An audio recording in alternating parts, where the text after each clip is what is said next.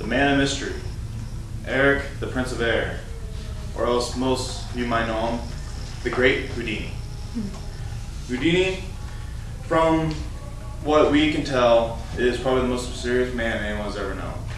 He grew up and claimed to be born on April 6th of 1874, when in fact, oh, in Appleton, Wisconsin, when in fact he was actually born on March 24th in Budapest, Hungary. His, his original name at birth was Eric Weiss, and it was uh, his dad moved to America uh, when he was one years old and making $750 a year. His family also moved with uh, to his father when Eric was two in 1876. He started his acting and performing when he was nine. Wasn't paid or anything, but it was for friends and family. He called himself Eric, the Prince of Air. That's when he did a trapeze act in front of some friends and family and tied uh, a rope to two trees. The magician Robert Houdin was his most famous and most favorite French performer.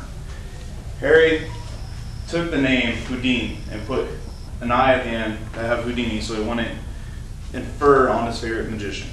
He added Harry as his French name so it would take up uh, to replicate his uh, Hungarian name of nickname of Harry.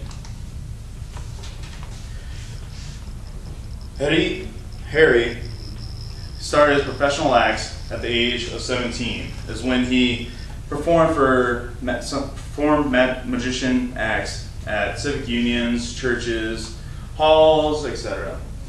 He then went to Coney Island Park and started performing uh, live in front of audience for 20 shows a day. He performed with his little brother, who eventually called himself uh, Hardeen, Hardeen.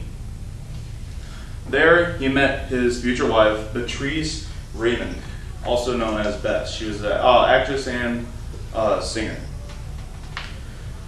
He then went on from Coney Island and started performing for the Welsh Bros Cir- Brothers Circus. This is when he would.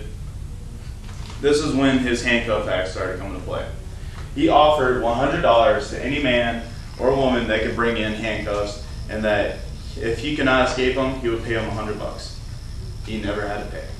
He even had police, uh, law, law enforcement, federal agents all come in, hand him handcuffs that were supposed to be unbreakable. Never had to pay once. His big break came when he went to Scotland, Scotland Yard in England. He eventually went to the yard and the police wrapped around a pole, handcuffed behind the pole. That's when everyone started noticing how how good this guy really was. He was able to break free and his it skyrocketed from there.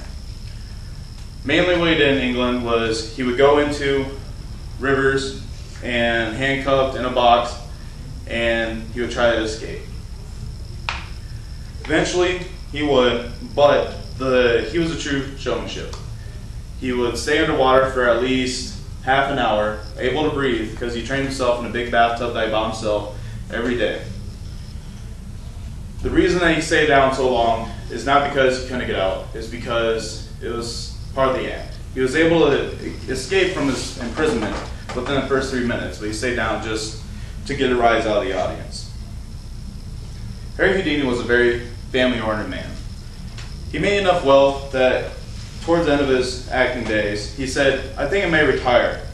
I cannot take my money with me when I die, and, when I, and I have enough money to live enjoyably. So I want to live with my family until I die. He never got that far. In McGill University, he is performing. He was doing the Chinese water torture act.